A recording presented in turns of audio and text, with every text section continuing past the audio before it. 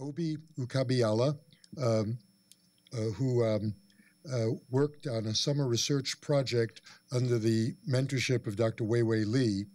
Uh, they were working on the important topic of the electronic medical record um, and looking at an aspect of it um, that I think is quite fascinating.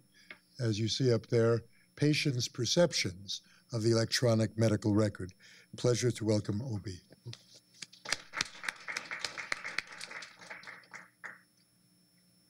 Thank you, Dr. Siegler.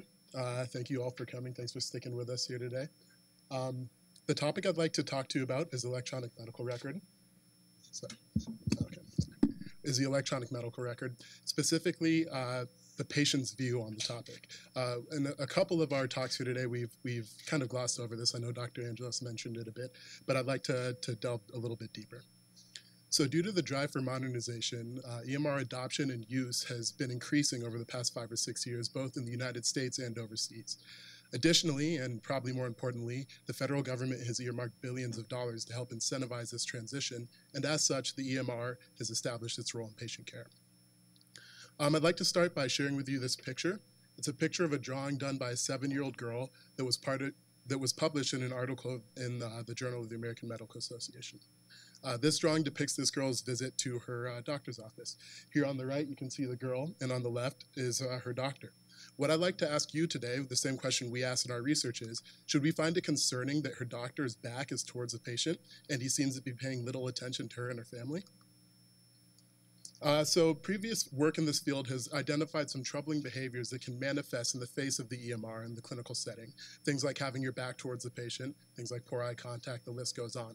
But little work has been done directly asking patients how they feel about the use of the EMR in their care. So that's what we aim to do to first qualitatively understand what the patient perception of the use in, of EMR in their care is, and to two, elicit patient suggestions uh, to inform the development of a patient-centered uh, EMR use curricula. So EMR use began at the University of Chicago outpatient clinics in May of 2012, and all patients seen in our project were seen approximately 15 months after that advent between August and October of 2013. Uh, this this uh, sample of patients represented a random sample of patients seen during that time. We conducted a series of telephone interviews uh, between December and August, uh, December 2013 and August 2014, and recorded and transcribed these interviews afterwards. Our project followed the grounded theory research technique, um, and in that we use appreciative inquiry and critical incident reporting techniques. Suffice it to say, these are established qualitative methods um, ways to phrase questions to elicit both positive and negative perceptions, respectively. In our case, to identify physician successes and deficiencies in the use of the EMR. Um, all these interviews were conducted by trained research assistants. Data analysis was done during using ATLAS.ti, which is a qualitative data analysis software, and an inter-rater reliability was established using the coding analysis toolkit. Just for fun, this is what the Atlas interface looks like. Uh, you can upload a patient interview transcript, which is this text on the left, you can highlight a section of that transcript and designate it as a pertinent qu uh, quote, which is what I've done in blue. And you can assign that quote um, a code which corresponds to a patient perception. And I know this is pretty elusive and you probably can't see this, so I'll take a few minutes uh, in, a, in, a, moment to walk through some specific examples. Um, but first, data analysis began when three investigators coded 10 transcripts together to generate a coding library. That is a catalog of all the things patients say about the use of the EMR in their care. An additional 10 transcripts were coded independently, and that was used to establish an inter-rater reliability. That's to say, is what one, uh, the perception that one investigator calls is that congruent with another investigator. And this is demonstrated by an IR score of 0.63. Um, a total of 9,384 patients were eligible. Um, those were seen by 109 physicians. We took a, rand a, random stratified sample by doctor and randomized 384 of those patients to the call list and interviewed 108 of those patients and analyzed their uh, transcripts. Upon going through the data, we notice two overarching themes. That is, the things that patients are saying fit into two main families, the clinical functions of the EMR and the communication functions of the EMR. Within those major themes, there was a number of sub-themes that were identified as well. In the first family, things like documentation, clinical care, educational resource and information access, and within the communication functions of the EMR, things like patient engagement and physical focus. Um, Now, because this is a qualitative study, the real meat, the data we were looking for, what are the things that patients are actually saying? So I'd like to take a few minutes to walk through some sample patient quotes and show you how we catalog those within this coding scheme. And I'll start here. I understood that he was actually making a record of information, things that I was sharing with him. This we coded as an efficiently recording of information, which was a documentation function of the EMR subtheme, which fell under the clinical functions major theme. All right? Similarly, it is much easier for him or her to read everything. It's more difficult with handwritten notes. This was an increase in clinical efficiency, which fell under the clinical care domain under the clinical functions of the EMR. They can pull up information more easily than when they had the paper file.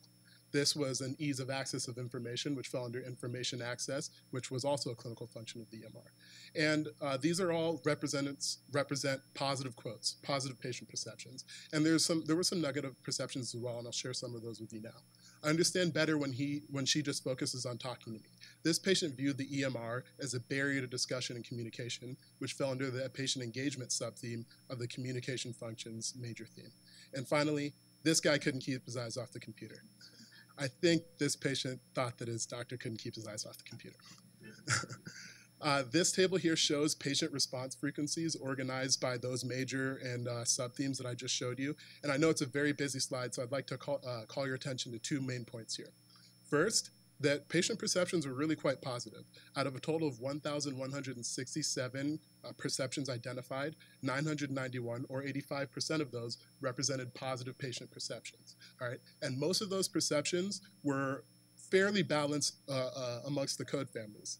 And secondly, that while only 176 of the 1,167 codes represented negative perceptions, 40% of those fell within the physical focus domain and an additional 26% fell within the patient engagement domain. So those are two points that I'd like you to keep in mind, and I'll come back to them in a second. But 85% were positive perceptions, um, only 15% were negative, and two thirds of the negative perceptions fell within the communication functions of the EMR. All right?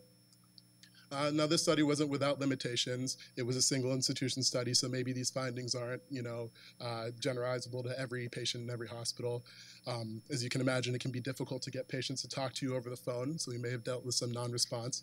And uh, we, as with any qualitative study, you need to consider the weight of each individual response because one patient saying a perception five times is given the same weight as five different patients saying the same thing once, if that makes sense. But back to those two points I just outlined. Patients hold positive and negative views of the EMR. The positive views, 85%, were mostly distributed evenly across the themes, and the negative views, 15%, were really focused on the communication and physical focus. And what we thought was really interesting was that these two things were not mutually exclusive. Take this quote, for example. The care is better and the doctors are more polite, but the computer takes them away from focusing on you. This patient recognized that the EMR is a valuable clinical tool, and this patient recognized that it can has the power to, to increase clinical efficiency and improve care, but maybe their doctor isn't paying as close of attention to them when they're using the EMR. Um, and this is a perfect segue into what our second aim was, and that's to, to use this, these perceptions to guide curricular development. Um, and to that end, that um, kind of leads me into some of our next steps and our implications. We wanted to incorporate patient perceptions uh, to develop an EMR use curriculum. We wanted to assess this, the, uh, the efficacy of this curriculum development um, by eliciting feedback after curriculum delivery. We wanted to directly observe providers using EMR to provide a formative feedback where necessary. And an uh, interesting next step is here at the University of Chicago and at the Cleveland Clinic, we have faculty training studies that will begin shortly. And also in the future, we want to kind of do the same thing, but assess the use of iPads in patient care as well. Um, this is a pocket card demonstrating a mnemonic that we created human level. And I know you probably can't see this, but I brought some of the cards with me here today. They're at the back. I think they're by the Coca-Cola. So grab one afterwards. And if you have any questions, please grab me. Um, before I finish, I'd just like to thank my uh, collaborators here, thank um, the Pritzker Summer Research Project team, um, obviously thank the patients and providers for uh, working with us, thank the Picker Institute, the Gold Foundation, the Bucksbaum Institute. So with that, I'll leave you with this quote, and I'll take any questions.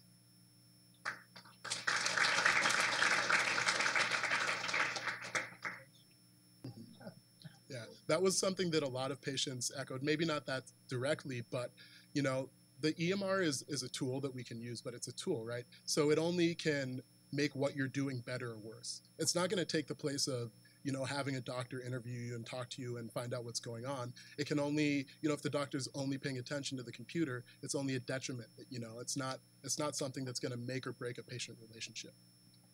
Yeah, he asked if there's any correlation between um, the technical abilities of the doctor and, in using the computer and uh, the patient perception. Um, and I think, yeah, that's an important point. Dr. Angelos kind of brought that up a little bit. Uh, it, it, wasn't a, it was a perspective that patients shared with us. You know, um, if their doctor seemed to be, you know, staring at the screen and just hunting and pecking, does that mean they're a bad doctor or does that mean that they don't know how to use the computer as well? Um, and I don't.